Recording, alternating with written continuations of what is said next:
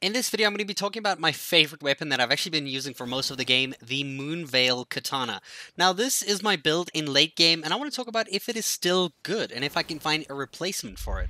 Now, together with this build, I'm using two talismans that greatly increase my damage. The Stargazer Heirloom, as well as Marika's Soreseal. Now, these two talismans greatly increase my intelligence and some other usable stats that actually really benefit me to actually get my intelligence to 60, even though my intelligence is actually only 50.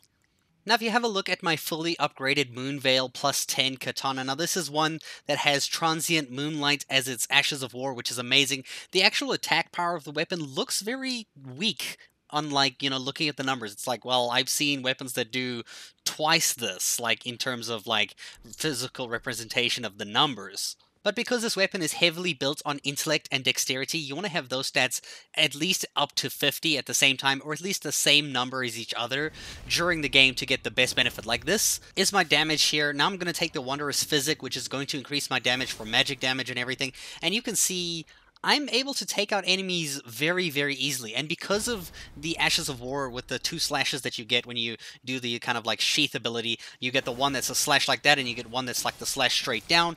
And it's just mental, dude. Like, the actual normal attack damage of this weapon is insanely strong. I mean, granted, the weapon, these enemies that I'm fighting right now might be weak to magic in particular. I'm not actually sure what their complete weakness is, but if I if I attack them, you can see here whether I use magic or non-magic, you can tell the difference to to that. Like I'm simply just doing a ton of damage. And I'm going to show you another katana that is going to look even better in terms of numbers, but it's not going to perform to like 70% of the effectiveness as the Moonveil is right now. I think my main appeal with this weapon is that you're able to take on enemies that are heavy guarded, like maybe shields, or enemies like this that are kind of waiting for you to attack them, and you just do that downward strike, and it just stuns them, and it absolutely gives you an opportunity to destroy them without you actually getting too much risk of, like, you know, having to deal with bad things. Like right now, you just stun them, and you just keep throwing things out, and boom, normally this guy is horrible to fight, and I'm going to show you from the perspective of the other katana right now. Now this is another katana called the Dragonscale Blade. This one has a ice lightning type of effect. It's really cool. The damage on it is absurd. It says it's going to do like 600 damage, like just in attack power, which is which is maddening. And it has a really cool Ashes of War that basically does this kind of effect. So you stomp the ground and then you slash, and it even makes like a lightning bolt hit that spot there. And then you have lightning damage on your sword for I think it's like 20 seconds or so so, and you can do some extra lightning damage. It's not a lot. It's like 60 attack power worth of lightning damage. It's, it's not too much to brag home about. But if you look here at a normal attack here, we do like hardly any damage compared to my Moonveil, which was doing like 7 to 600 damage per hit. And the, the Ashes of War on this weapon in particular is like really slow, so it's it's hard to use this weapon.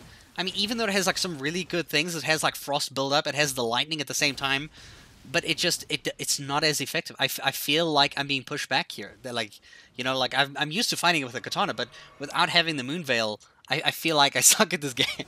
you know, so the Moonveil is is really really good for, for just being able to play safely and deal mad amounts of damage that is really hard to do with any other weapon besides the Moonveil for me right now. I'm busy in the phase of testing different types of weapons to see if I can find like little kind of exploits or ways to play other weapons better than my Moonveil. But right now I'm having this experience that you see on screen with pretty much every other weapon that's not the Moonveil. I'm actually struggling. I hope you guys enjoyed this video. I hope you guys like the Moonveil still as much as I am. I literally cannot put it down. It's like my it's my safety shield, my my safety weapon, and it's just it's still so fun to play. I'm and I hope you guys are enjoying it too. So thank you so much for watching, and I'll see you guys in the next video.